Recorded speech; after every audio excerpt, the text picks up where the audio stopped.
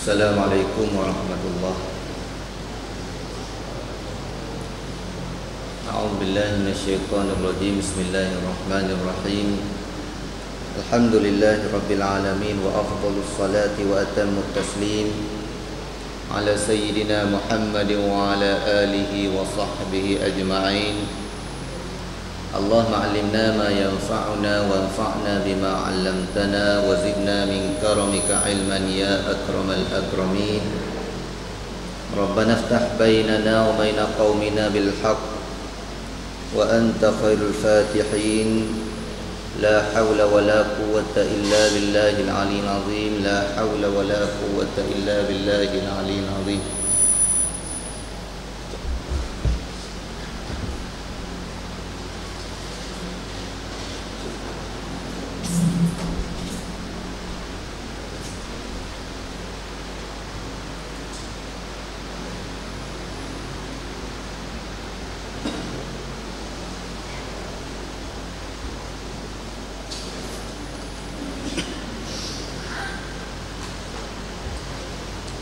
وبالسند المتصل إلى الإمام ابن حجر رحمه الله تعالى وبه قال وعن أبي هريرة رضي الله عنه قال قال رسول الله صلى الله عليه وسلم إذا وقع الذباب في شراب أحدكم فليغمسه ثم لينزعه فإن في أحد جناحيه داء وفي الآخر شفاءً.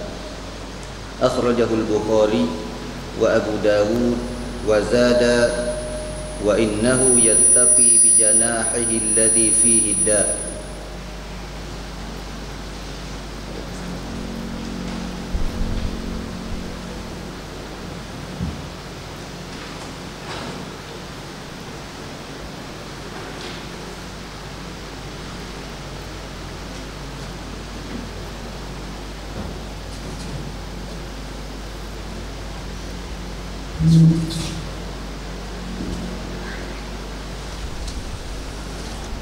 أبي واقد الليثي رضي الله عنه قال قال النبي صلى الله عليه وسلم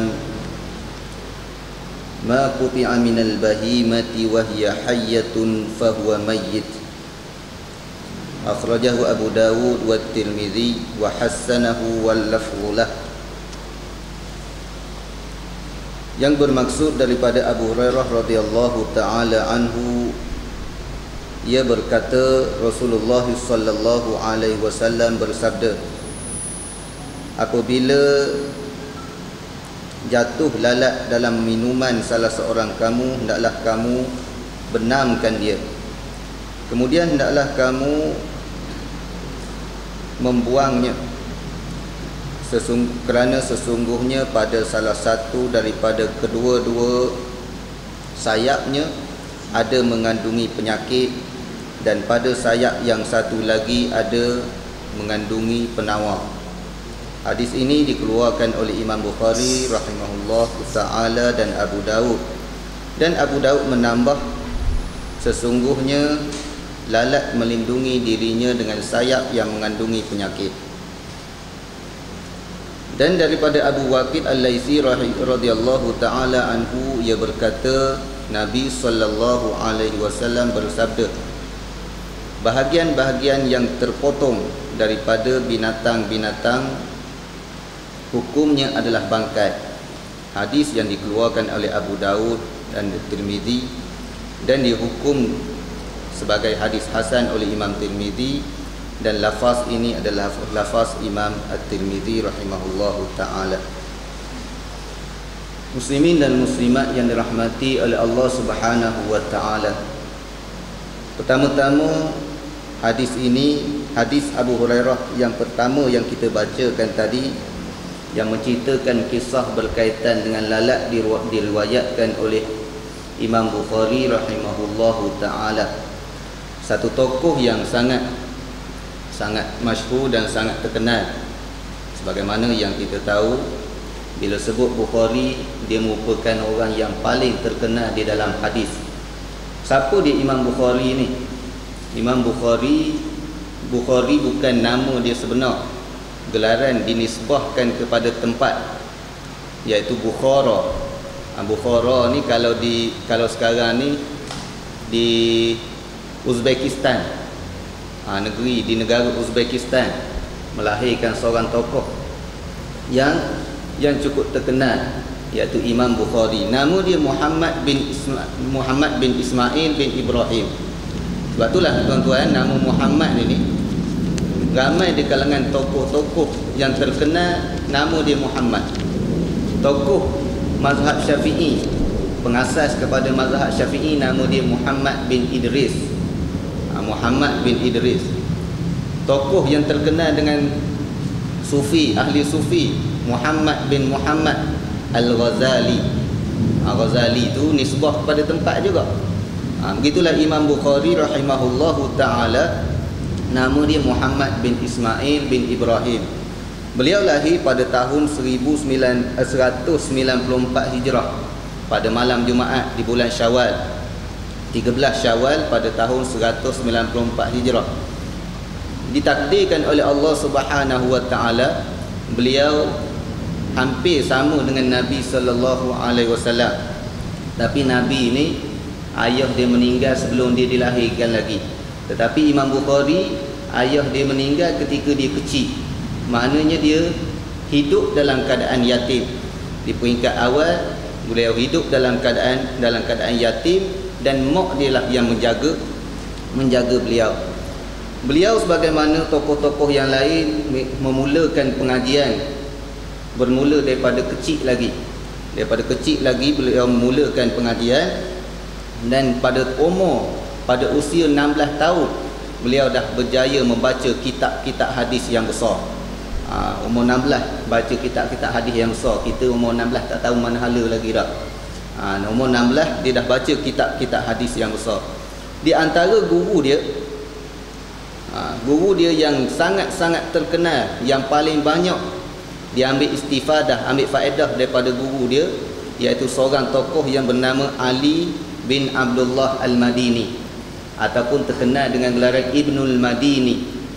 Ha, Ibnul Madini merupakan tokoh hadis dan ulama al-jarh wa ta'dil. Ulama yang banyak menilai perawi-perawi hadis. Orang ni boleh dipercayai, orang ni ditolak dan seumpamanya. Ha, ni di antara guru dia yang terkenal. Tapi guru dia ramai tuan-tuan dia uh, sebagaimana yang diriwayatkan uh, tentang penulisan hadis Imam Bukhari rahimahullahu taala beliau di, di diriwayatkan bahawa beliau menulis uh, beliau menulis hadis daripada seribu lebih daripada seribu tok guru yang diambil hadis lebih daripada seribu tok guru ha, ni ha, di antara di antara kehebatan Imam Bukhari. Sebab itulah nak hebat tuan-tuan, guru kena ramai. Sebab itulah ada setengah-setengah orang minat mengajar dak. Dia kata jangan belajar dengan guru lain, habis dengan dia dulu. Ah ha, tu tak kena cara tu. Kalau kita tengok ulama-ulama dulu, dia banyak mengaji dengan guru itu guru ini. Kerana setiap guru dia ada kelebihan dan ada kelemahan. Kelebihan yang ada pada guru yang pertama mungkin tak ada pada guru yang kedua kelemahan yang ada pada guru yang pertama mungkin boleh ditampung dengan guru-guru yang lain ha, begitulah seorang tokoh yang hebat dia tidak tidak belajar daripada seorang seorang tok guru saja. Ramai tok guru dia. Lebih daripada seribu tok guru yang dia ambil hadis. Itu dia Imam Bukhari rahimahullahu taala. Anak-anak murid dia cukup-cukup ramai. Lebih-lebih lagi yang mengambil yang yang meriwayatkan kitab dia kitab sahih Al-Bukhari. Tetapi di antara ramai-ramai anak murid dia riwayat yang paling masyhur iaitu Al-Firabri. Ha, ini riwayat yang paling masyhur. Tetapi di kalangan anak murid dia yang cukup popular tak lain dan tak bukan Imam Muslim dan Imam Tirmizi. Imam Muslim juga merupakan anak murid kepada Imam Imam Bukhari rahimahullahu taala. Imam Tirmizi berapa lama? Dia di antara tokoh yang lama melazimi Imam Bukhari. Sehingga Imam Bukhari menyatakan bahawa aku sendiri pun banyak dapat manfaat daripada aku bersahabat dengan Imam At-Tirmizi rahimahullahu rahimahullahu taala.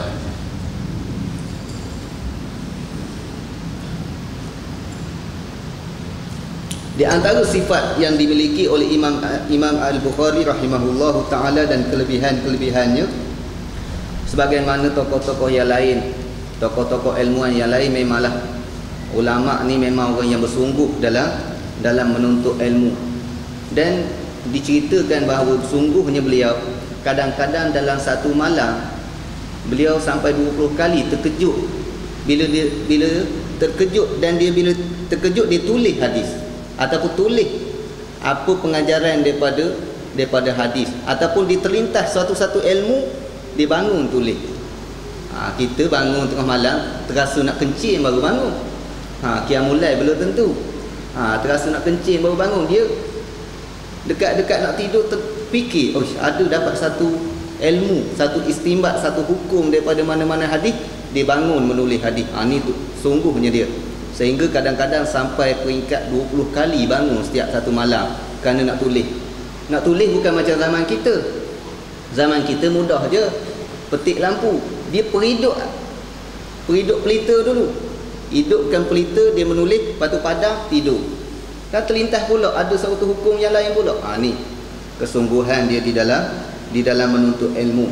Dan di samping itu dia merupakan seorang tokoh yang sangat-sangat warak.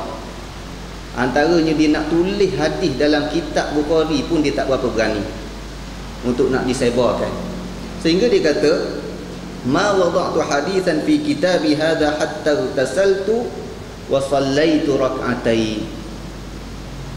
Aku tak letak mana-mana hadis dalam kitab aku ni melainkan setelah aku mandi sunat dan semayang dua rakaat.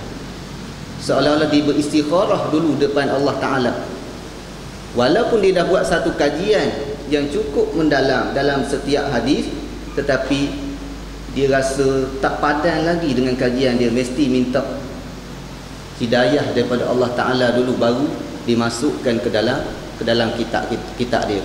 Ha, ni Imam Bukhari. Kita nak karang kitab kita fikir apa? Eh tajuk ni laku ke tak? Tu beza kita.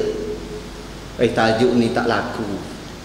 Tak boleh cari duit tak balik modal taubatlah pun kita tak tak, tak karang kita nah ha, tapi Imam Bukhari dia fikir ha, dia istikharah di hadapan Allah Subhanahu wa taala sebelum dia memasukkan memasukkan had, mana-mana hadis ke dalam kitab dia cuba kita bayangkan lebih daripada 7000 hadis dimasukkan dalam kitab dia dalam keadaan itulah ha, amalan yang dilakukan sebelum dia memasukkan hadis kekuatan hafalan Imam Bukhari memang cukup-cukup tidak tidak boleh kita kita nafikan.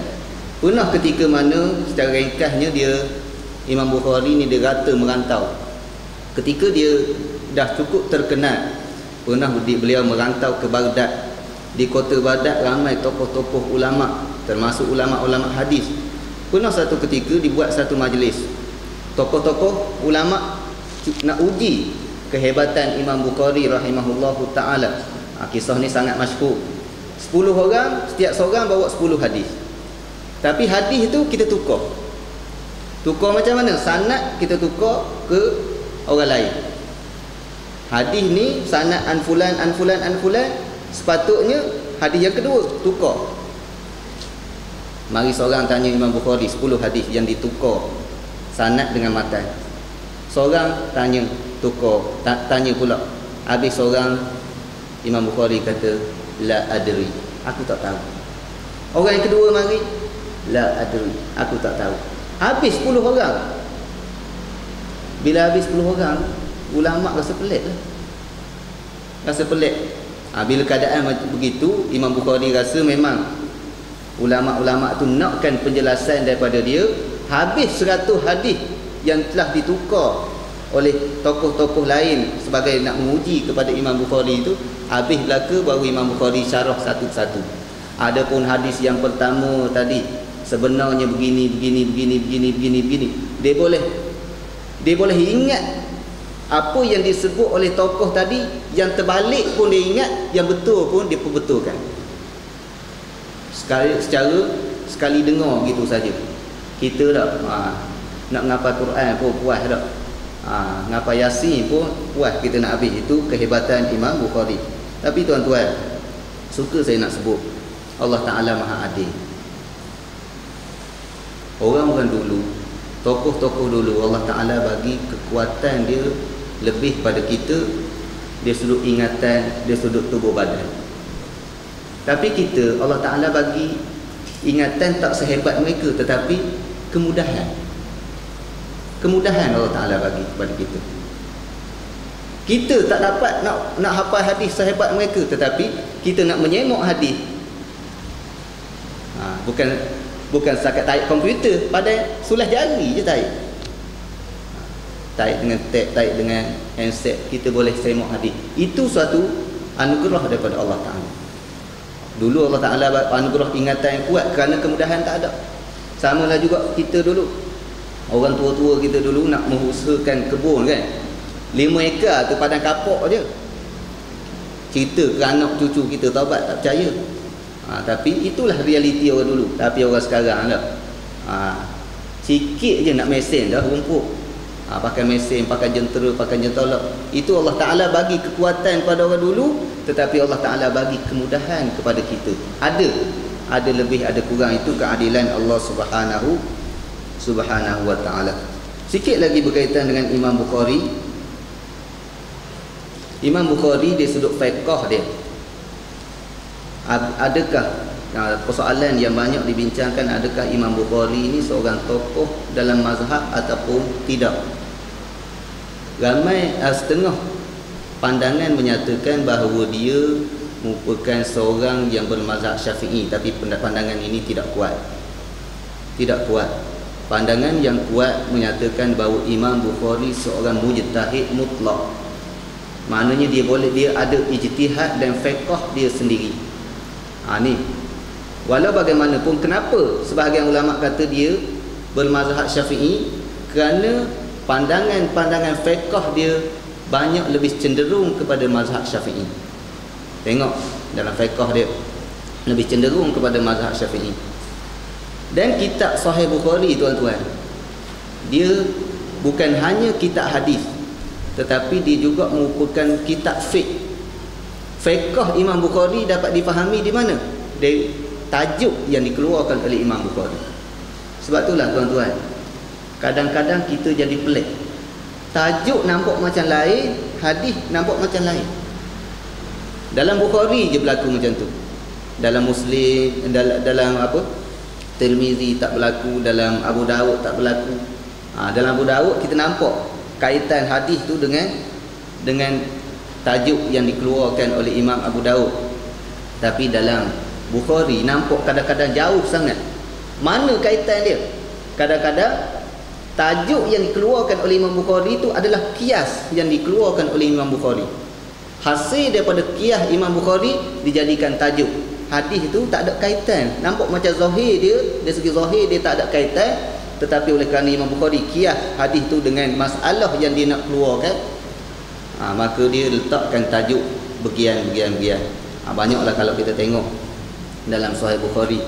Sebab itulah ulama-ulama sehingga kini di antara benda yang dia pening nak bincang tentang Sahih Bukhari iaitu tentang Tarajim Al-Bukhari. Tajuk-tajuk Imam Bukhari. Apa kaitan tajuk dengan hadis? Apa kaitan tajuk dengan hadis? Cari cari cari cari. Oh rupanya kias.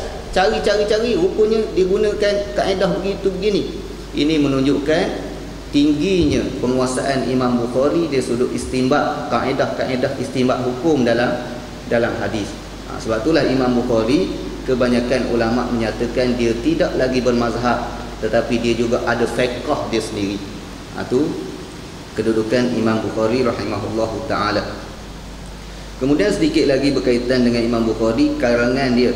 Karangan-karangan dia terlalu banyak. Yang paling popular kitab Al-Jami'us Sahih Al-Musnad min Hadis Rasulullah sallallahu alaihi wasallam wa ayyami ataupun terkenal dengan Sahih Bukhari. Yang tu yang paling paling popular. Dan yang kedua yang popular juga Al-Adabul Mufrad. Dia ada kitab Al-Adabul Mufrad. Ha, kitab ni kadang-kadang orang terkeliru. Ha. Kalau disebut ulama mentakhrij hadis rawahul bukhari fi al adab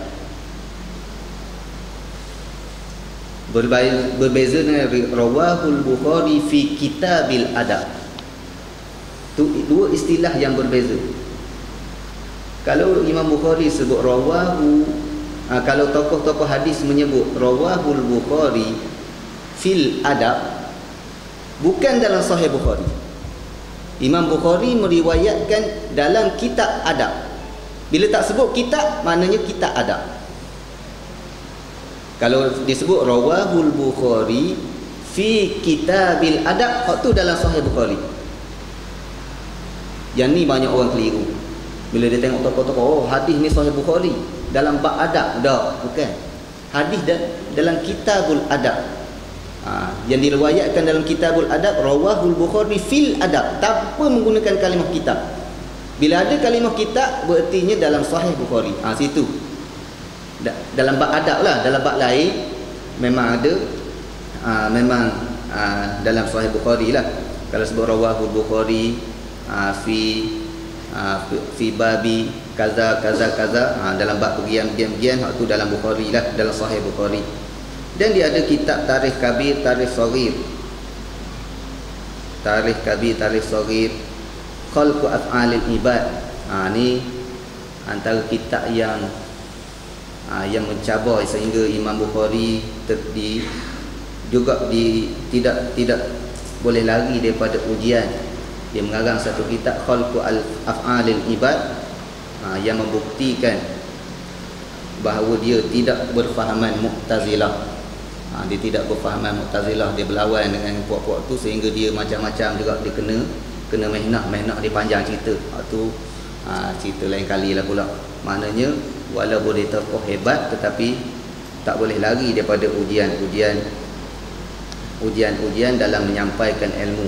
Ha, bukan ujian yang dihadapi oleh Imam Bukhari bukan hanya di kalangan orang jahil tetapi juga di kalangan orang-orang alim yang bermasalah. ha, sebab tu kalau zaman kita ni ada orang alim bermasalah yang pelik ha, setara Imam Bukhari pun ramai lagi yang yang iri hati dan seumpamanya Akhir sekali beliau wafat pada tahun 256 Hijrah pada malam Idul Fitri iaitu pada malam Sabtu.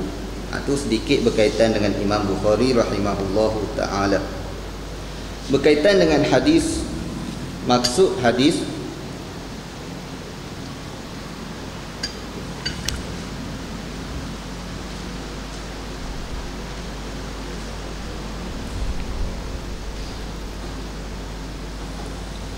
saya nak sebut apa yang disebut dalam hadis ini. Kita tengok di akhir hadis tersebut dia sebut akhrajahul bukhari wa abu daud wa zada wa innahu yattaqi bi janahi maknanya penambahan wa innahu yattaqi bi janahihi ada dalam abu daud sahaja. Dalam bukhari habis kat dak saja. Habis kat kalimah kalimah syifa. Dan dalam riwayat bukhari ada satu lafaz yang lain dengan menyebut bahawa fi ahadi janahaihi summa. Pada salah satu daripada daripada aa, apa sayap. Sayap lalat ini ada ada sum ada racun ada racun. Muslimin dan muslimat yang dirahmati oleh Allah taala kemudian kita pergi pula kepada pengajaran istimbat hukum daripada hadis ini. Pertama-tama sekali para ulama menyatakan bahawa binatang yang seumpama lalat. Apa dia binatang yang seumpama lalat? Binatang yang laisa lahu nafsun sa'ilah. Mana yang tidak ada darah yang mengalir. Binatang yang seumpama ini adalah binatang yang ma'fuun an yang dimaafkan daripadanya. Dalam mazhab syafi'i binatang seumpama ni bukan tak najis. Tapi dimaafkan Beza maaf dimaafkan dengan dengan tak najis. Kalau tak najis tak ada masalah. Tapi bila dimaafkan dia berbeza hukum dia. Apa beza hukum dia? Kalau dimaafkan benda yang tidak sengaja. Ha, kalau dia najis, ha, kalau tidak najis sengaja pun tak apa. Contoh lalat lah. Lalat binatang yang dimaafkan. Mana kalau tak sengaja air tersebut boleh diminum. Tapi kalau sengaja tangkap lalat, tangkap lalat tiga ekor saja ubuh dalam tu, itu tidak dimaafkan. Ha, tidak dimaafkan. Ha, mengikut mazhab Syafi'i, binatang yang seumpama ni tidak dimaaf uh, adalah binatang najis yang tidak yang najis tetapi ti, tetapi dimaafkan binatang yang najis dimaafkan ha, mana bila sebut najis dimaafkan makna kalau sengaja tak boleh saja kutik lalat ataupun semut kutik secekok isi dalam kocek Allahu akbar. Mengikut mazhab Syafi'i tak sah. Kerana tidak dimaafkan. Tak ada sebab. Tak ada sebab saja-saja nak isi dalam kocek. Ha, tapi ada mazhab yang lain menyatakan oleh kerana hadis ni Nabi suruh celuk. Bila suruh celuk maknanya tidak ada larangan. Tidak ada larangan dia tidak najis. Ada mazhab ulama lain mengatakan binatang yang seumpama ni langsung tidak najis. Ha, mana lagi ringan lah ha, lagi ringan apa jawapan mazhab syafi'i? Mazhab syafi'i kata hadis ni bukan kita tangkap letak. Idza waqa'a zuba binatang lalat tu jatuh sendiri. Bila jatuh dia jatuh sendiri bukan kita ubur.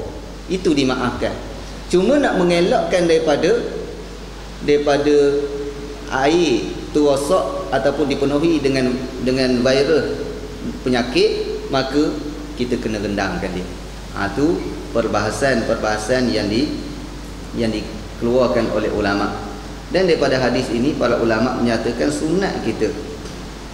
Ha, sunat apabila jatuhnya binatang apa binatang khususnya jatuhnya lalat ini ke dalam air sunat kita celup. Ha, dan ini merupakan suatu kenyataan daripada Rasulullah yang dah ada kajian saintifik sekarang ni. Ha, saya ada baca dalam satu kitab yang ditulis kaitan dengan masalah lalat ni.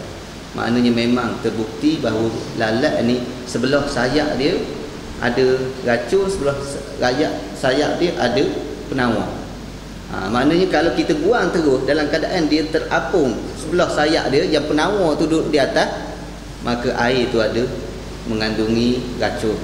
Walaupun tak macam racun rondak dah tapi adalah bakteria yang ada dalam air tu. Hmm. Ha, yang duduk di atas tu yang tu penawar.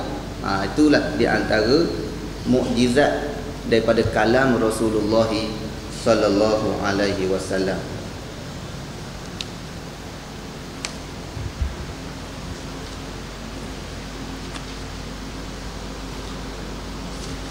Kemudian hadis Abu Waqid Al-Laythi Yang kedua yang saya bacakan tadi.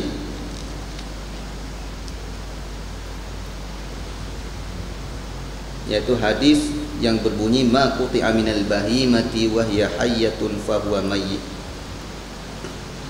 Iaitu bahagian binatang yang terpotong ketika binatang tu hidup dia hukum dia hukum bangkai hadis ini ada sebab urut hadis. Imam Tirmizi sendiri dan Imam Ahmad rahimahullahu taala dia menyebut dalam kitab dia. Bila sebut Imam Ahmad ni dalam musnad lah. Imam Tirmizi dalam uh, bila sebut riwayat Tirmizi maksud dia dalam Jami' At-Tirmizi. Walaupun Imam Tirmizi ada kitab yang lain uh, kitab Syama'il Muhammadiyah dan lain-lain lagi.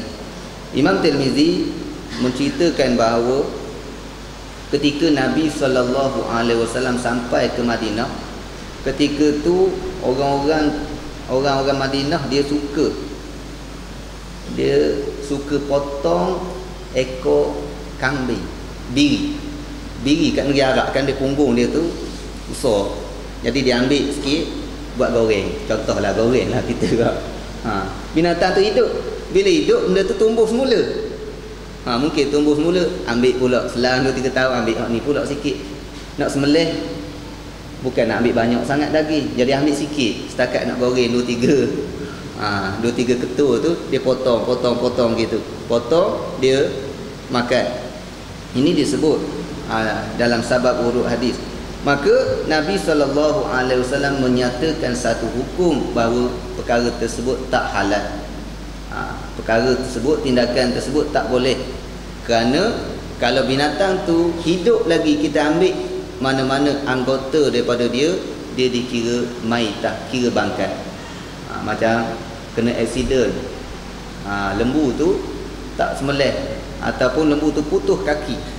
Ha, peha tengok betih oi sedap betih tu boleh betih lutut boleh boleh buat. Sup ha, tapi dia hukum dia hukum bangkai tak boleh ha, tak boleh kita nak ha, nak ambil dia ha, untuk kita manfaat daripada daging dia ha, tu yang dimaksudkan daripada hadis ini ma quti'a minal bahimati wa hiya hayyatun fa huwa mayyit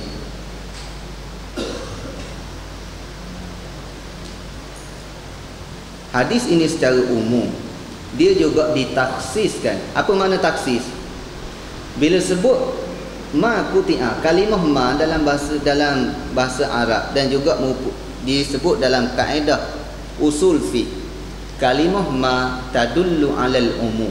Min sighatil umum di antara lafaz yang menunjukkan umum. Maknanya apa-apa semua sekali. Apa-apa yang terpotong ha, ma sini ma mausul. Apa-apa yang terpotong maknanya tak kira apa sekalipun. Nampak maksud hadis ni umum tak kira apa binatang sekalipun. Dah ikan macam mana? Bila sebut ikan belalang binatang yang tidak perlu kepada sembelih dia ditaksiskan oleh hadis uhilla lana maitatan uhillat lana maitatan. Mana hadis yang membenarkan kita makan makan ikan tanpa semelet makan aa, apa belalang tanpa semelet maka walaupun dia terputus tengah hidup kita boleh makan juga aa, kalau katakan tengok apa? Kita potong.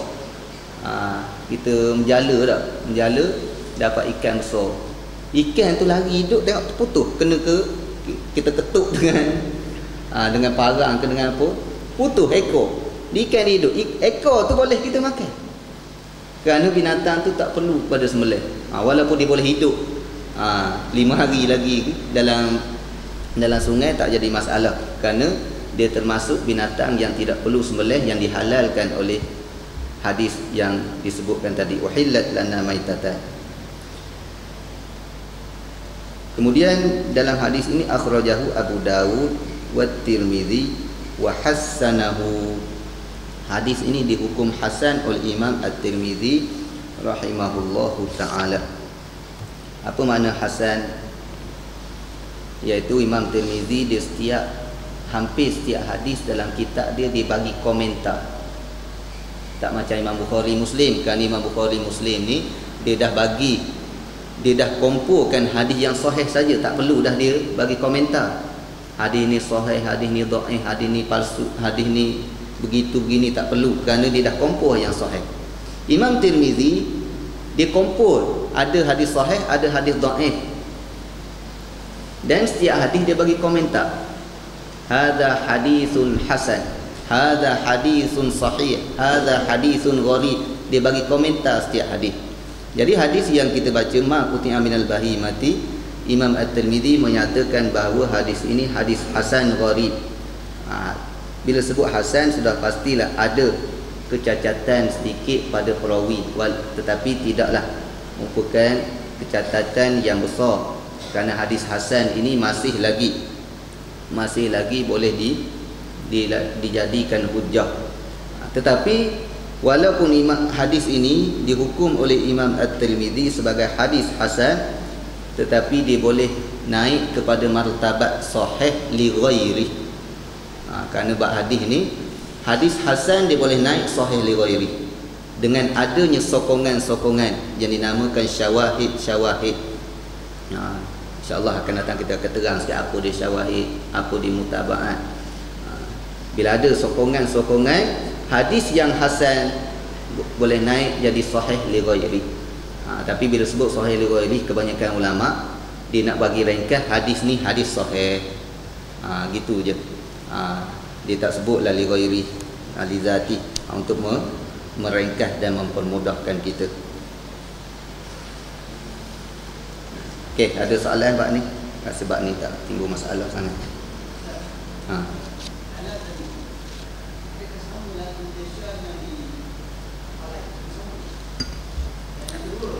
Apa dia? Ha? Alat? Lalat ha, sama je Hukum dia sama celup sama ha, hukum dia sama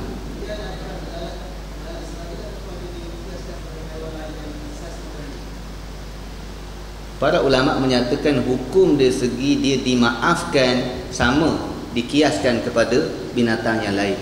Tetapi dia sudut hikmah dicelup tadi ha, hikmah celup tadi ada pada lalat saja, tak ada pada binatang lain. Ha, maknanya kalau kalau semut tak payah celup lah. Buang boleh guna air tu. Ha, dia tidak menjejaskan air, dia dimaafkan. Kalau semut dimaafkan, kalau apa? Ha, seumpamanya lah binatang yang kecil yang seumpama tu. Ha. Apa? Bilangan mari seekor jatuh kita celup. Mari dua ekor jatuh celup. Tak apa, tak ada masalah. Ha, tak ada masalah. Banyak mana kita nak celup tapi nak minum tergamuk tak tergamuk tu bab lain. Ha, bab hukum satu, bab gamuk ha tu bab lain. Kalau tak tergamuk bagi ke orang rumah minum nak jangan kabur. Ha. Ha. Langau hukum dia sama dengan lalat. Dia lebih kurang. Hmm?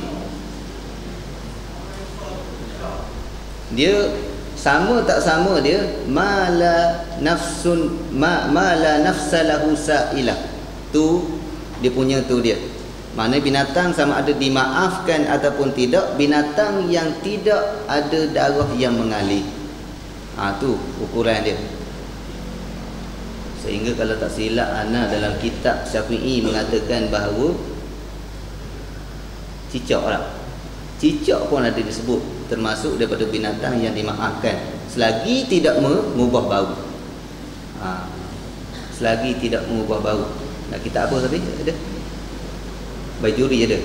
Ha, rasanya kalau tak silap kalau kita ha, syarah Bajuri ada sebut cicak pun termasuk binatang yang dimaafkan ma'fuun anhu. Kemudian yang seterusnya wa an Hudzaifah bin al-Yaman radhiyallahu anhuma qala qala an-nabiy sallallahu alaihi wasallam la tashrabu fi aniyati adh-dhahab wal-fiddah ولا تأكلوا في صحافها فإنها لهم في الدنيا ولكم في الآخرة متفق عليه daripada Hudzaifah bin Al-Yaman radhiyallahu anhuma bahawa Rasulullah sallallahu alaihi wasallam pernah bersabda jangan kamu minum dalam bekas yang diperbuat daripada emas dan perak dan jangan pula kamu makan menggunakan pinggan atau piring daripadanya maka sesungguhnya iaitu penggunaan tersebut bagi mereka bagi orang kafir di dunia dan bagi kamu di hari akhirat hadis muttafaqun alaih wa an ummi salamah radhiyallahu anha qalat qala rasulullah sallallahu alaihi wasallam الذي يشرب في إناء الفضة إنما يجرجر في بطنه نار جهنم متفق عليه daripada Abu Salamah daripada Ummu Salamah radhiyallahu anha bahawa Rasulullah sallallahu alaihi wasallam pernah bersabda orang yang minum dengan menggunakan bekas daripada perak sebenarnya dia meneguk api neraka jahanam di dalam perutnya.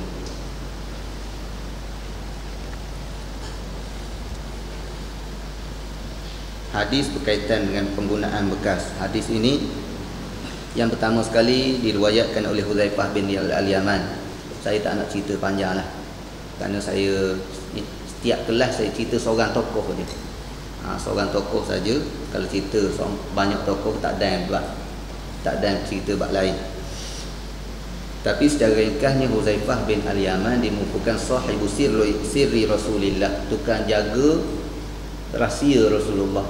Rahsia apa? rahsia tentang senarai orang, orang munafik. Ha, senarai orang munafik ada pada dia. Sehingga Sehingga Sayyidina Umar pun dikatakan bahawa dia nak tengok kalau ada orang mati Huzaifah pergi semayang ke tak? Ha, Huzaifah pergi semayang ke tak? Kalau Huzaifah pergi semayang baru dia pergi semayang. Kalau Huzaifah tak pergi semayang tu, ai dia rasa munafik dah tu. Ha, takutnya Sayyidina Umar sampai tanya, betul tak aku termasuk tak dalam senarai tu? Ha tu. Ha, Sayyidina Umar hebat.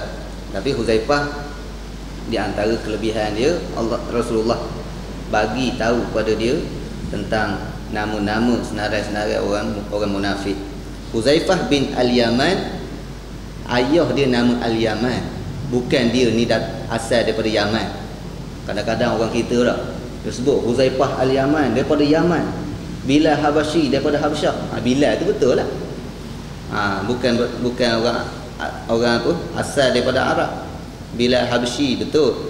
Huzaifah Al-Yaman, Al-Yaman ayah dia, nama ayah dia Al-Yaman, bukan dia daripada Yaman. Kita bunyi Yaman, ingat ke daripada Yaman selalu. Ha, kalau nisbah kepada Yaman, bukan Al-Yaman, Al-Yamani. Ha, tengok, ada tokoh-tokoh balik pada Yaman tu, isi nama dia ujung dia Al-Yamani. Ha, tu barulah nisbah kepada kepada Yaman. Dan hadis ini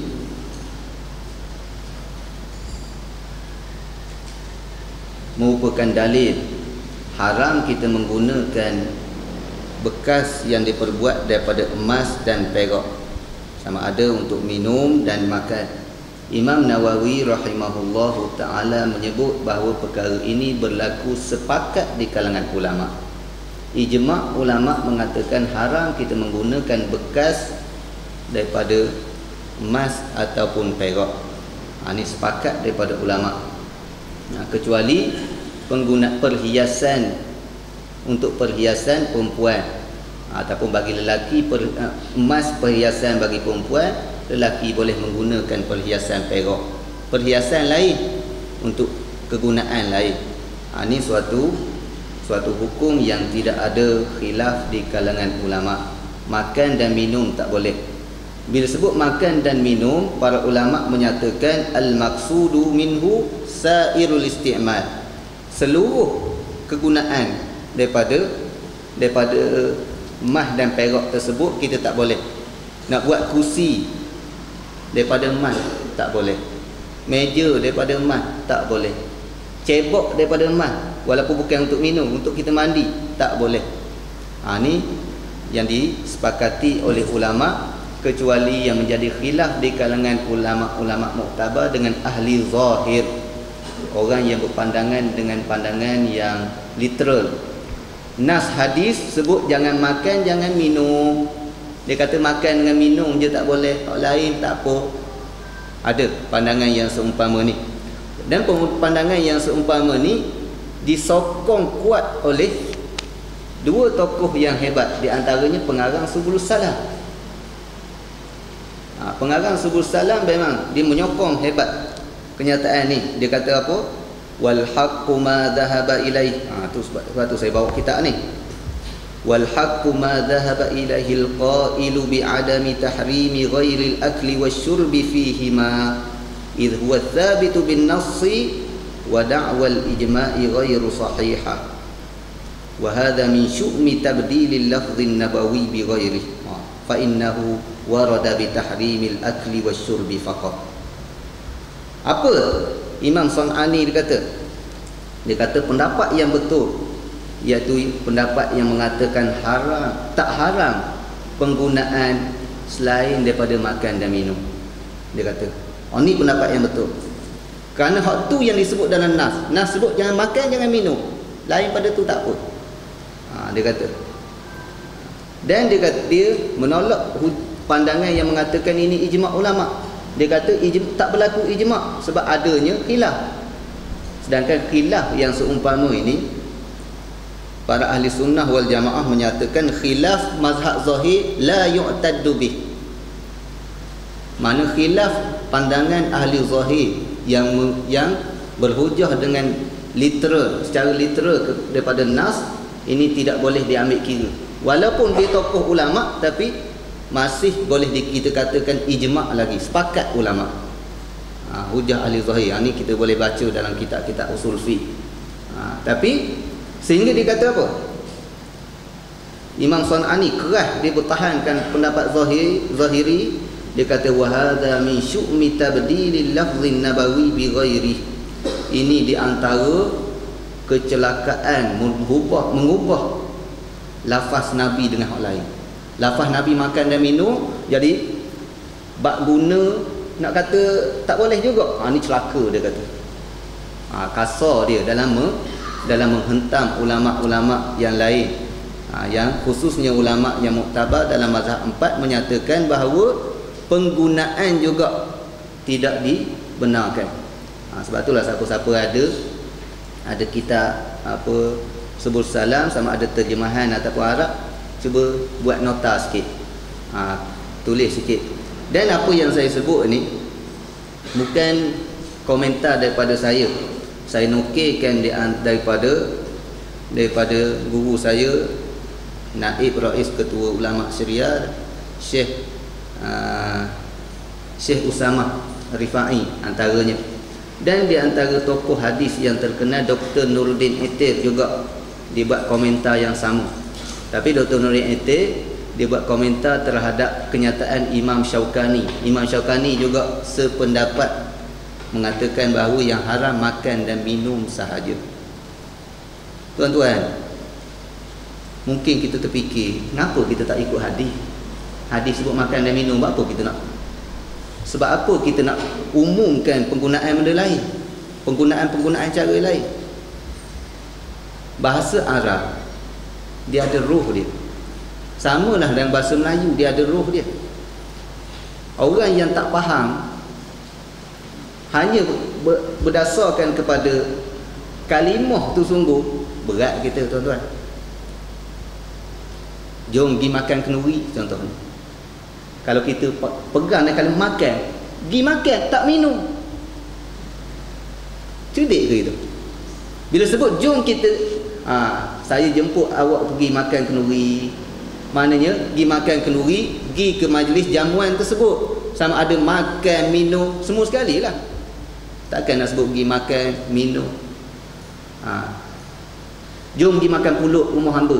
Contohnya. Makan pulut. Tengok-tengok, eh ada buah hepa. Tak boleh ke makan buah hepa? Ada juga yang jenis luruh. Betul benda. Betul benda gitu. Sebab itulah para ulama menolak pandangan ahli zahir kerana dia luruh sangat. Dia tak faham apa maksud dia. Sama lah macam ayat Quran. Wala ta'kulu amwalakum bainakum bil batil. Jangan makan harta sama kamu dengan cara yang batil. Quran sebut makan. Aku tak makan aku ambil buat isi minyak kereta. Boleh? Tak boleh. Kalau nak pegang nak makan tak boleh. Aku isi minyak kereta. Buat bayar bil buat buat buat itu buat ini ha, itu suatu kefahaman yang tidak betul. Sebab itulah pandangan ahli zahir di antaranya dalam masalah ni ditolak oleh ulama mazhab. Ha, di antara Ha, di antara yang ha, yang berpegang masih berpegang dengan pandangan tersebut iaitu pengarang kitab Subul Salam Imam Sun'ani dan tokoh yang sangat hebat juga Al-Imam Syaukani dalam kitab dia Nailul Awtar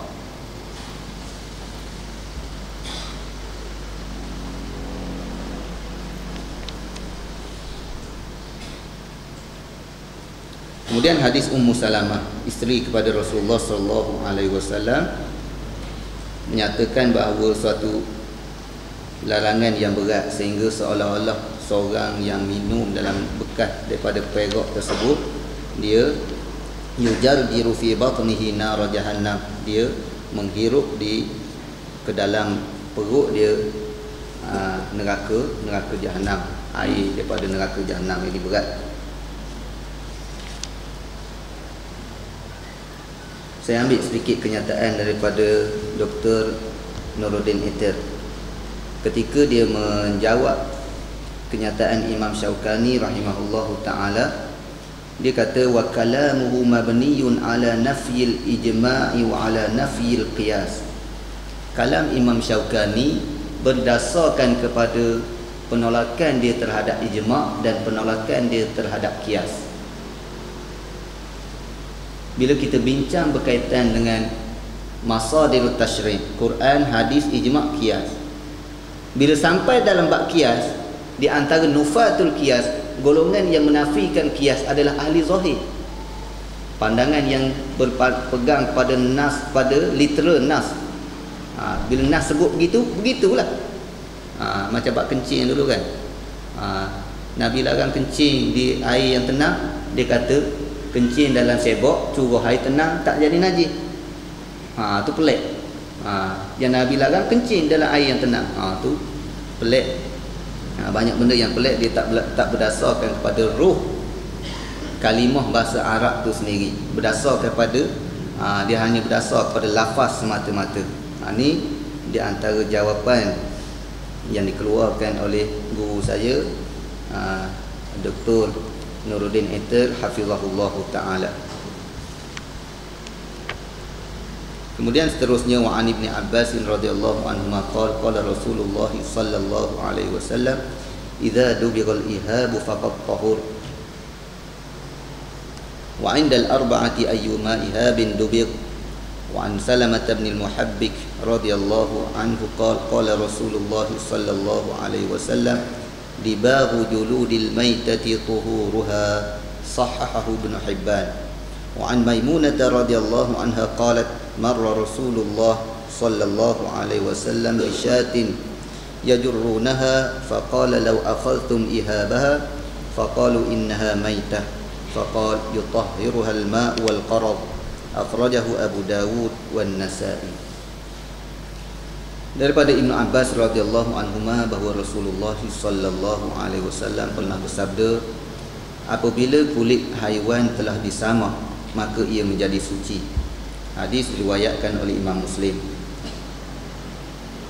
Dan menurut arba'ah, menurut empat tokoh hadis iaitu sebagaimana yang kita maklum Abu Daud, Tirmizi, Nasa'i dan Ibnu Majah dengan lafaz ayyuma ihabin dubir mana-mana kulit yang di yang disamak dan disebut daripada diriwayatkan daripada Salamah bin Ibnu Muhabbik radhiyallahu anhu bahawa Rasulullah sallallahu alaihi wasallam bersabda menyamak kulit bangkai adalah dengan menyucikannya. Hadis diriwayatkan oleh Ibn Hibban dan disahihkan oleh Ibn Hibban. Dan daripada Maimunah radhiyallahu anha ia berkata bahawa Rasulullah sallallahu alaihi wasallam pernah bersua pernah melihat lalu jumpa dengan dengan kambing yang diheret. Ha, yang diheret iaitu bangkai kambing yang diheret. Lalu Rasulullah berkata bertanya kenapakah kamu tidak mengambil kulitnya?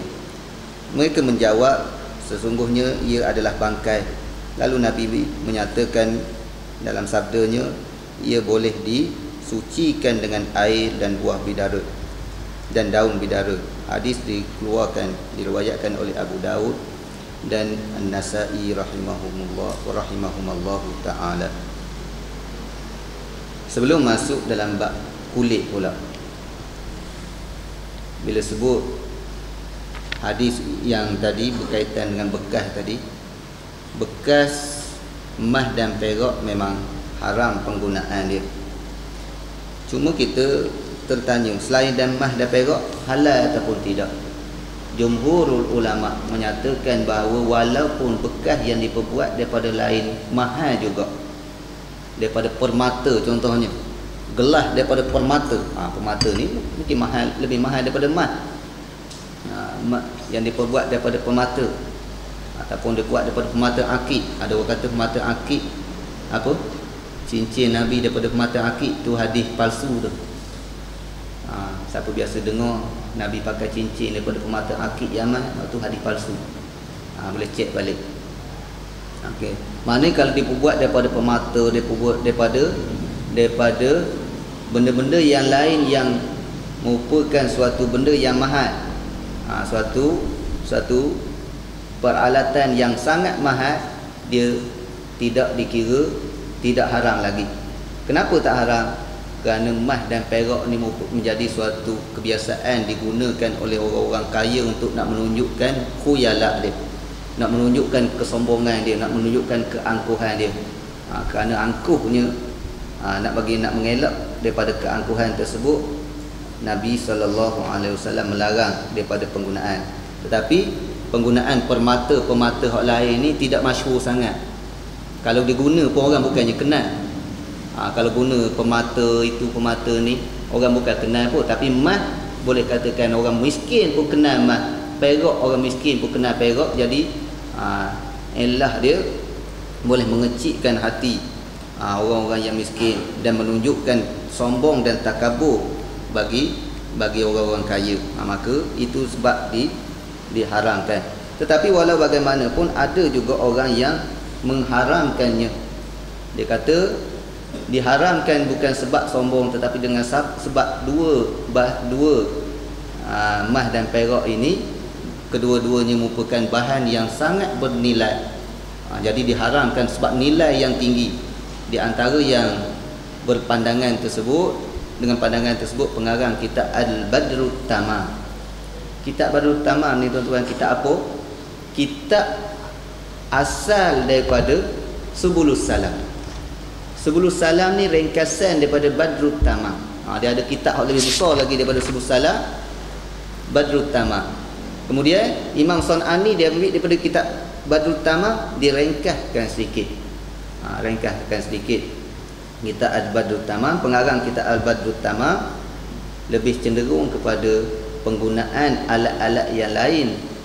Bahan-bahan yang lain yang sangat tinggi nilainya juga haram ha, ni satu pandangan yang yang tidak ramai di kalangan ulama tetapi kebanyakan ulama yang lain menyatakan tidak haram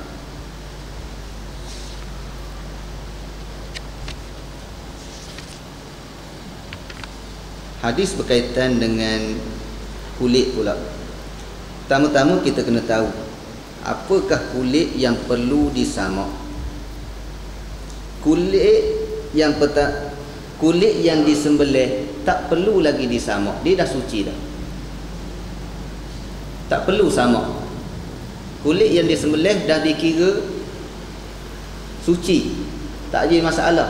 Kulit yang disembelih binatang yang telah disembelih ha, tetapi kulit binatang yang tidak disembelih sama ada binatang yang boleh dimakan ataupun tidak boleh dimakan ha, yang itulah yang Nabi sebut ayyuma ihab ataupun idza dubiral ihab apabila di ha, di sama saya tak sedap kalau tak main nahu sekali-sekala dah. Idza dubira dubira fa'il madhi mabni lil majhul. Kalimah dubira ni fi'il madhi. Mana yang lepas macam mana ni? Betul tak ayat ni iza dubira sebab apa? Sebab apa dia tak buat? Iza tu debaru. Apabila kamu akan menyamuk. Ha, iza dubira apabila telah disamuk. Ha, apabila telah disamuk. Dan banyak lagi dalam kitab-kitab eh, dalam ayat-ayat yang lain seumpama ni. Tengok. Idza qumtum ila solat. Apabila kamu bangun nak mengerjakan sembahyang maka ambillah wuduk basuh muka dan seterusnya. Apabila qumtum qumtum fi'il madhi. Takkan suruh benda yang dah lepas? Ya ahlal lughah. Siapa boleh jawab? Ha ni. Budak-budak ni.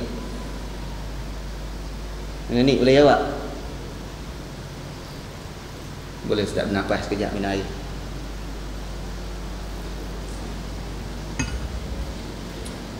Satu kaedah dalam dalam nahu. Bahawa kalimah fi'il madhi. Kalimah fi'il madhi apabila dimasukkan syarat. Lafaz-lafaz syarat idza in dan seumpamanya maka maknanya menunjukkan mustaqbal menunjukkan akan datang. Ha tu tak timbul masalah. Ha tu kaedah dia. Idza kuntum walaupun kuntum tu kalau kita terjemah dari segi asas makna tu kuntum kamu telah. Kamu telah bangun nak mengerjakan sembahyang dah bangun. Ha. Tetapi bila ada iza apabila kamu hendak bangun ha maknanya benda tu belum berlaku lagi. Ha, sedikit berkaitan dengan nahum boleh kita kita rekod sedikit. Kalimah bas apa fi'il madhi dia mengubah makna menjadi mudhari' dan istiqbal. Ha, apabila dia didahului oleh mana-mana lafaz mana-mana ha, kalimah yang menunjukkan syarat idza in dan seumpamanya.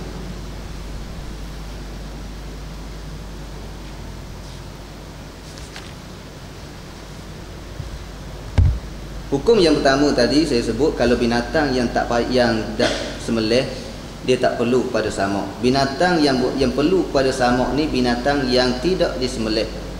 Ada setengah orang kata ustaz nak pakai kulit ular macam mana? Nak ambil kulit ular? Kena sembelih dulu ular. Tak payah sembelih ambil je kulit. Ular ke apa-apa ambil je kulit kita boleh bersihkan dia. Yang dimaksudkan samak di sini dibau bukannya basuh dengan air tanah dah dia beza. Kita nak membersihkan daripada anjing dan babi. Anjing sebagaimana yang disebut oleh Nabi bahawa perlu menggunakan air tanah.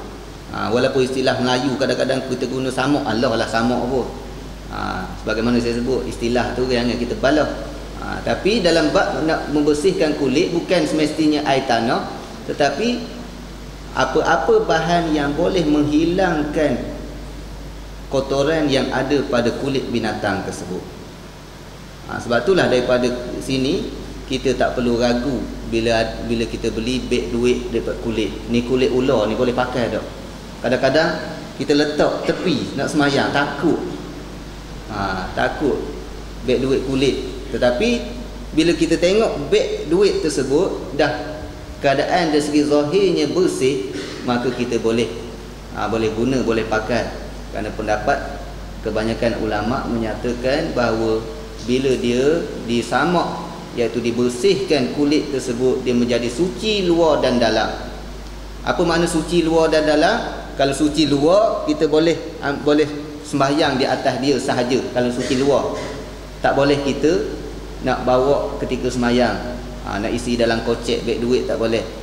Ha, tu kalau kalau suci di luar. Tapi kalau suci luar dalam mana kita nak sujud atas dia pun boleh kita nak bawa isi isi dalam kocek kita boleh. Ha tu tak timbul tak timbul masalah. Ha ni di antara pengajaran daripada hadis ini. Yang mempunyai lafaz-lafaz yang berbeza. Idza dubiral iha ayyuma iha. Dan ha, dan seumpamanya. Cuma ada satu pandangan Pandangan ini pandangan yang masyhur dalam mazhab Malik menyatakan bahawa binatang yang mati tanpa sembelih sama ada binatang yang dimakan ataupun yang tidak dimakan dia tidak boleh tak jadi suci tak boleh guna.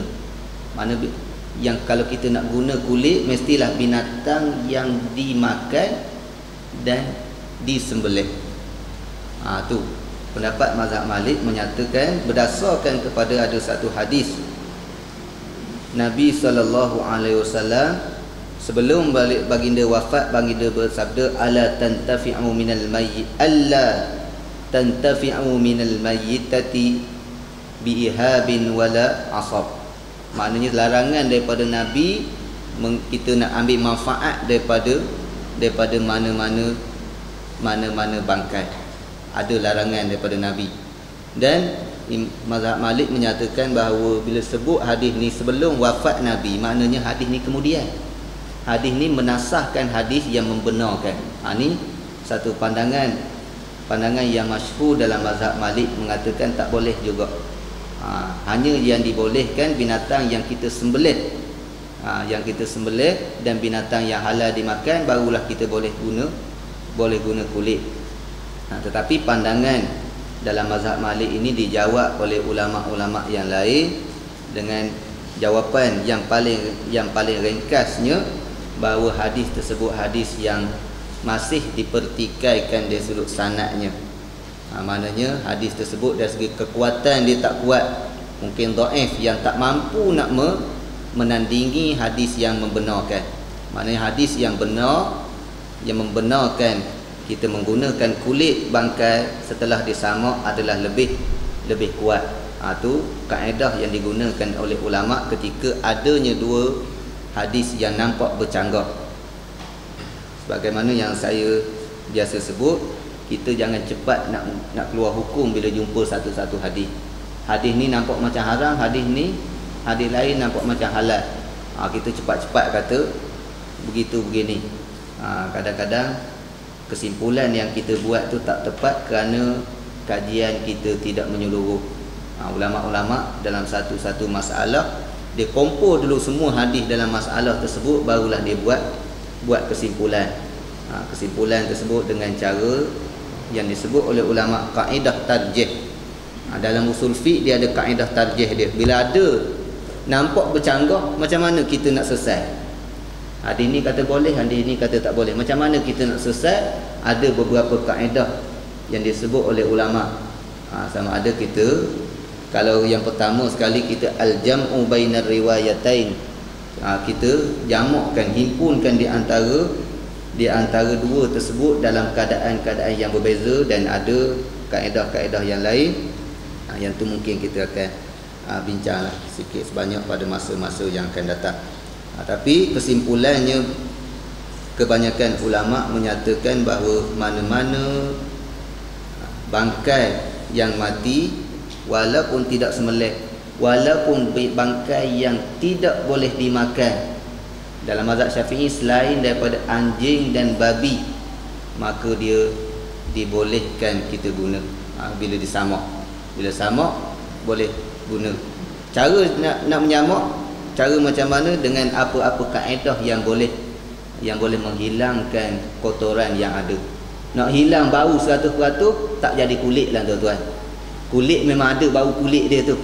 Tapi bau kotoran tersebut hilang. Ha, maka dia telah dikira telah dikira suci.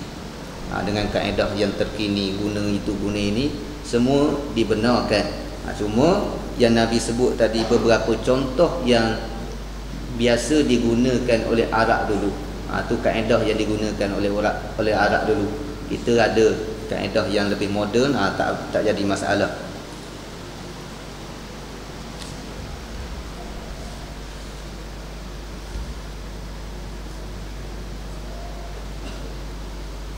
Kemudian hadis yang seterusnya baca sikit lagi. Wan Abi Tha'labah Al-Khushani radhiyallahu anhu qala qultu ya Rasulullah sallallahu alaihi wasallam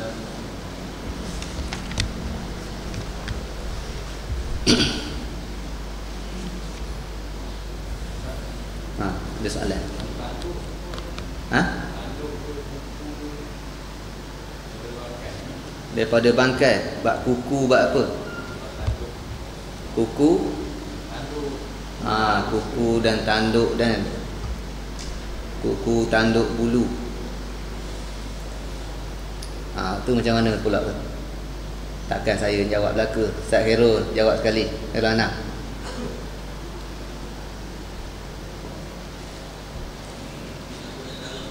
ha? ha? tak ada kena-mena dengan daging? Ada pandangan lain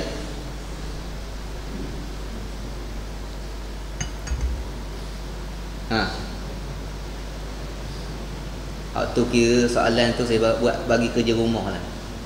Ha, kalau bagi belaka tak. Ha, bagi belaka tak nyanyi saya lah seorang je. Ha, buat kerja rumah lah. Pakai-pakai cari. Ha, minggu depan ha, boleh kita kongsi bersama. Ha, serupa tak jawapan tuan-tuan dan jawapan saya. Saya ada dah jawapan.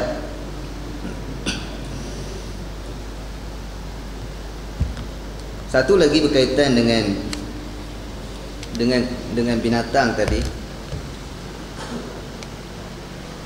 Kita biasa eh, binatang yang tidak boleh dimakan walaupun kita sembelih sebenarnya dia tidak memberi kesan apa-apa kepada kulit tersebut ha. maknanya kalau kata nak nak guna kulit ular contohnya kita sembelih ular tak payah sembelih ha. sembelih ke tak sembelih dia tak ada beza ha. kalau kita anggap sembelih itu boleh mempercepatkan dia mati siang dia katak lebih-lebih kurang itu ah, bagus. Ha. tapi kalau kita rasa eh, nak semelih macam binatang lain habis ha, potong urat mereh dan seumpamanya itu bukannya kaedah yang di disyariatkan. Boleh kita bunuh terus kita ambil kulit-kulit dia. Ha, tak perlu kita sembelih. Kerana sembelih binatang yang tidak boleh dimakan ini tidak memberi apa-apa hukum yang baru terhadap binatang tersebut. Ha, bukan dengan sembelih kita baru boleh guna kulit binatang. Wa an Abi Tha'labah al-Khushani radhiyallahu anhu qala qultu ya Rasulullah inna bi ardi qaumin ahli kitab afana'kulu fi aniyatihim قال لا تأكلوا فيها إلا أن ألا تجدوا غيرها فاغسلوها وكلوا فيها. متفق عليه. وعن عمران بن حسين وعن عمران بن حسين رضي الله عنهما أن النبي صلى الله عليه وسلم وأصحابه توضأوا من مزادة امرأة مشركة متفق عليه في حديث طويل dari riwayatkan daripada Abu Tha'labah Al-Khushani radhiyallahu anhu bahawa Rasulullah sallallahu beliau telah menceritakan bahawa aku bertanya kepada Rasulullah sallallahu alaihi wasallam wahai Rasulullah sungguhnya kami sering berada di suatu bumi suatu negeri penduduk di ahli kitab iaitu yang bukan Islam. Apakah boleh kami makan menggunakan peralatan mereka? Lalu Nabi menjawab la takulu jangan kamu makan dengan menggunakannya. Melainkan jika kamu tidak dapati bekas yang lain maka hendaklah kamu basuh kamu cuci dan kamu makan dengan menggunakannya dan diriwayatkan daripada Imran bin Husain radhiyallahu anhuma bahawa Nabi sallallahu alaihi wasallam dan para sahabatnya pernah berwuduk dengan menggunakan kendi ataupun menggunakan bekas milik seorang wanita musyrik. Hadis riwayat Bukhari dan Muslim iaitu ringkasan daripada hadis yang sangat panjang. Dia berkaitan dengan bekas pula. Bekas yang digunakan oleh orang-orang kafir ataupun bekas milik orang kafir.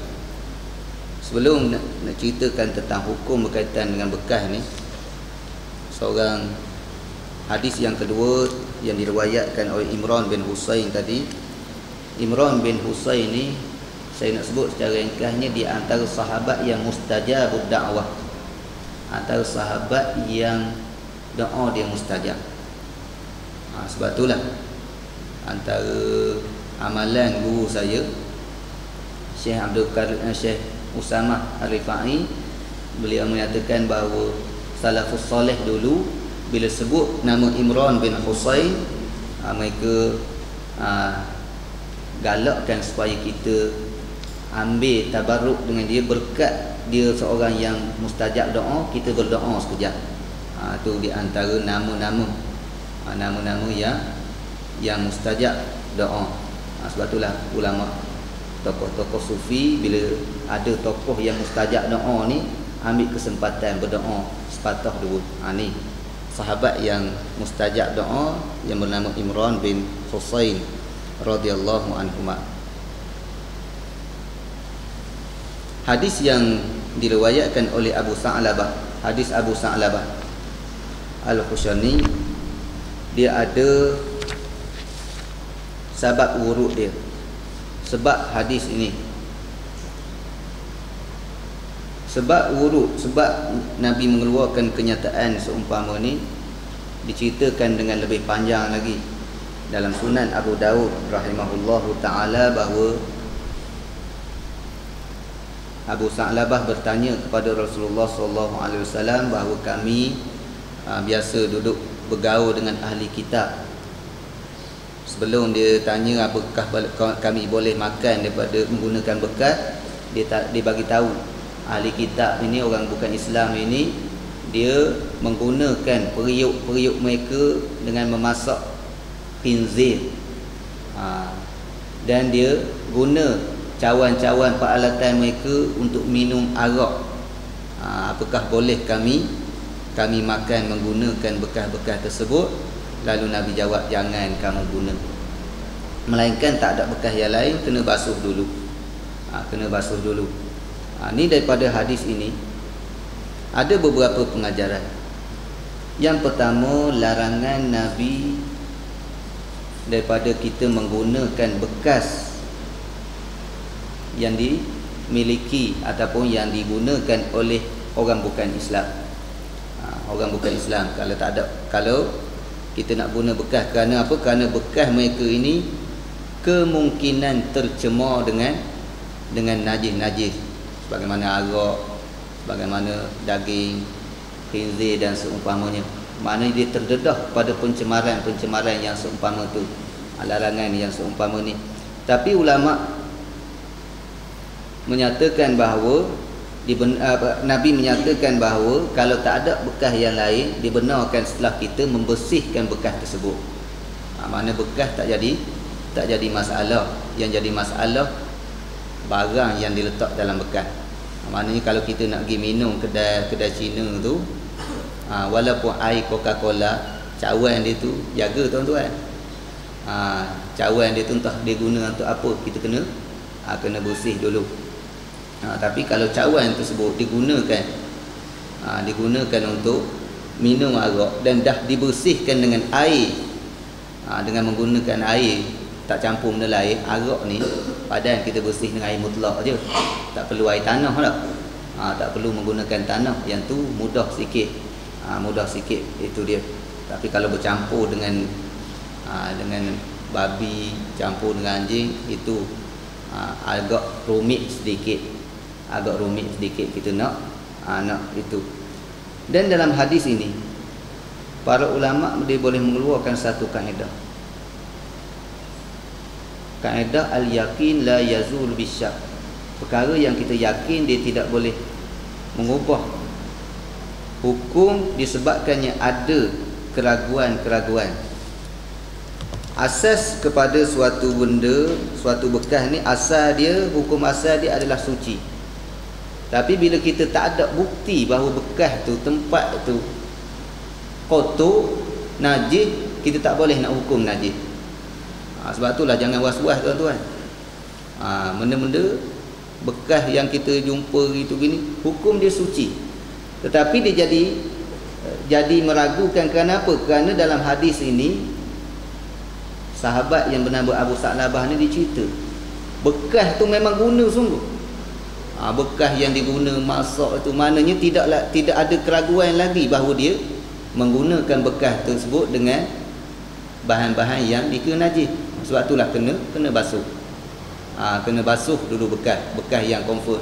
Sebab itulah kalau kita beli barang-barang di supermarket dan seumpamanya kalau kita tak basuh pun tak apa.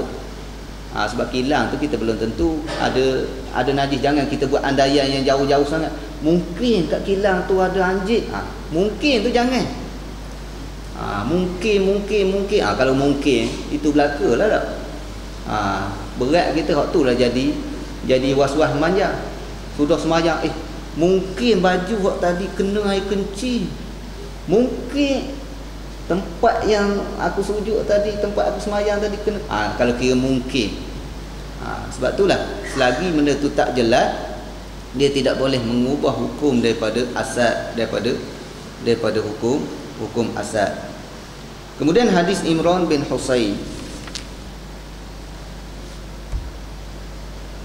dan hadis hadis Abu Sa'labah juga. Ha, bila kita lihat kepada sabab wurud hadis ada menyebut arak dia juga merupakan sokongan yang kuat terhadap mazhab syafi'i yang menyatakan bahawa arak itu najis ha, kerana Nabi suruh basuh. Ha, Nabi suruh basuh yang disebut oleh Abu Sa'labah Al-Khushani tadi dia kata ha, peralatan pinggan mangkuk yang diguna apa peralatan yang mereka gunakan ini untuk memasak memasak daging khinzir dan juga minum arak. Maknanya disebut arak menunjukkan arak itu arak itu najis. Ha, ini menguatkan dalil dalam mazhab dalam mazhab syafi'i dan jumhur ulama' bahawa arak itu najis.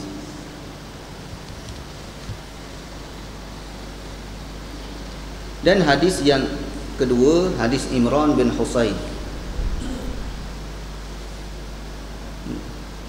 juga ada ada sabab wuruk dia.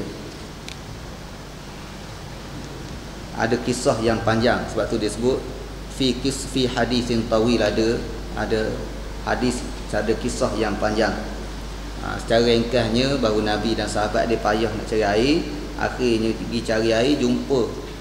Ha, jumpa bekas.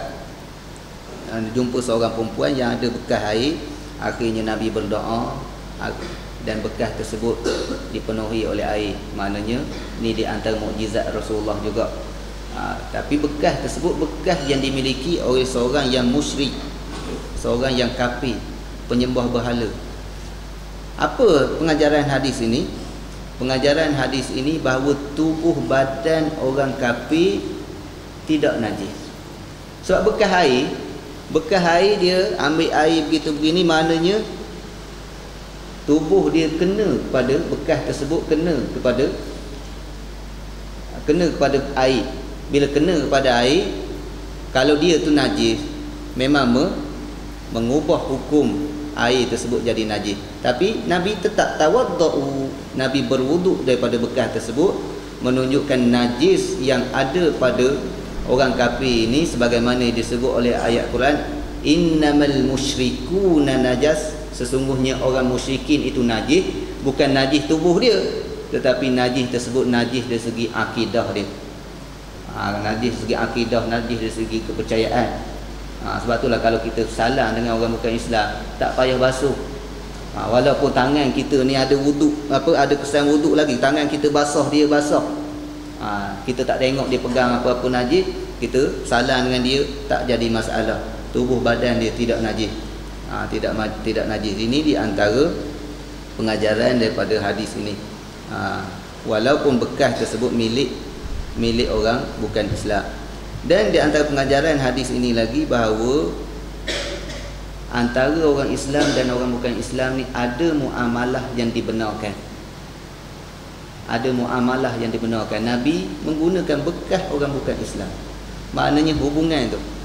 Ha, bukannya semua bukannya kita putus segala-galanya dengan dengan orang bukan Islam. Ada masalah yang termasuk dalam lakum dinukum waliyadi amu kamu aku agama aku. Tetapi ada muamalah-muamalah yang dibenarkan dalam Islam. Di antaranya ha, dalam isu yang disebut dalam hadis ini Nabi guna bekas yang di yang jadi milik seorang perempuan yang yang kafir.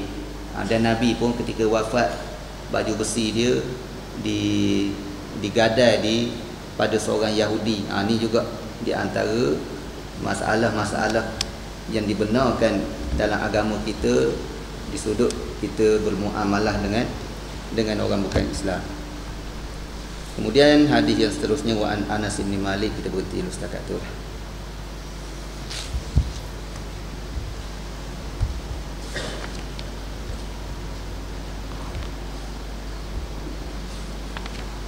atau kalau boleh isi nama lah yang mana tak isi nama tadi ha, ada tak? Ha, ha. Ha? Hmm.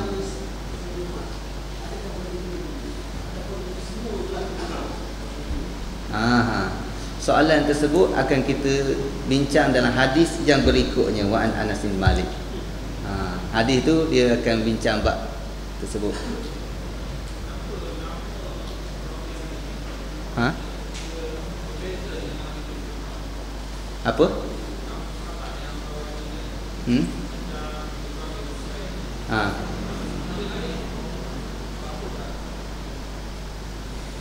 tak faham soalan kenapa nama perawi hadis? Ha? Ha, dalam dalam kitab anta nama lain?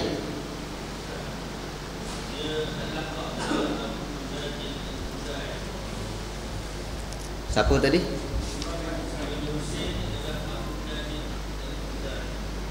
Ha, nama dia Abu Nujaid Al-Khuzai tu dia punya lakab dia nama Arab ni dia ada lakab ada kunyah. Ha, biasalah Arab ni dia tak padan dengan satu nama. Ha, tak padan satu nama ada pula guna nisbah pula. Ha, nisbah pula. Ha, ni biasa.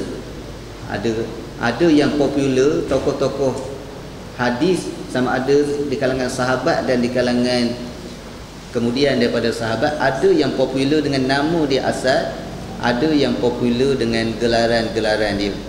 Ha, bila sebut nama asal kebanyakannya kalau bila kita buat terjemah ataupun pengenalan dia kita akan sebut apa gelaran-gelaran dia. Apa gelaran-gelaran dia. Kalau kita ha, menggunakan gelaran kebiasaannya tokoh-tokoh hadis menerangkan siapa nama dia. Itu biasa. Mana biasa dia nak guna nama ada yang popular dengan dengan gelaran dan seumpamanya. Macam kita lah ha, kita kita tengok bukan bukan tokoh lah. tetap apa? Bukan tokoh lah kan? Ha, ha, tokoh-tokoh pun kita pun kadang-kadang tidak menggunakan nama nama yang sebenar. Ada nama yang popular. Lebih-lebih lagi artis lah. Artis dia tak minat guna nama dia asal dia. Ha, guna nama yang bunyi macam sedap je. Tengok nama asal Oi, tak sedap je. Ha, ada macam-macam tak ha, jadi Arab dulu dan sehingga sekarang ni pun ada sebahagiannya yang dia lebih terkenal dengan gelaran tidak terkenal dengan nama asal. Sebab apa? Ha, tu panjang lah cerita ha, panjang lah cerita. Kalau macam Abu Hurairah dia lebih suka gelaran yang digelar oleh Rasulullah berbanding dengan nama dia sendiri. Ha, tu. Ha, begitulah sebahagian daripada sahabat lain. Dia ada sebab-sebab yang tertentu. Ha.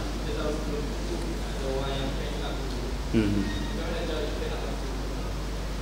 Kalau rumah sewa yang sebelum tu orang bukan Islam duduk Tak timbul masalah. Selagi mana kita tak tahu rumah tu di, di, Dijadikan kandang binatang-binatang yang najis. Ha, Dia tak pera tu gitu gini Dan kalau kita, kalau dipera pun Para ulama' Pekoh mengatakan kita tak tahu kat mana kena najis. Ha, Dipera di mana? Mungkin dipera letak dalam tilang atas tilang dia saja ataupun atas. Ha, ada sangkar dalam rumah. Ha, tempat mana kita tak tahu hanya kita disunatkan kita bersih basuh begitu saja. Ha, mana kita tak tak payahlah satu rumah tu ambil air tanah. Ha, tak payah. Ha, kecuali kita yakin sungguh dia buat kandang tu memang tengok penuh. Ha, tu tu lain lah ha, lain lagi dia.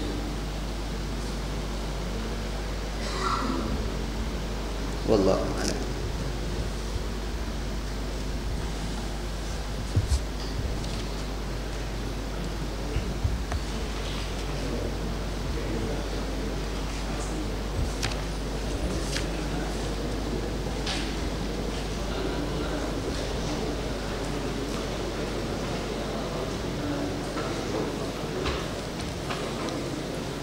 Ada yang nak kitab lagi. Kalau ada yang nak kitab Saya boleh buat tempahan lagi Dengan yang tu.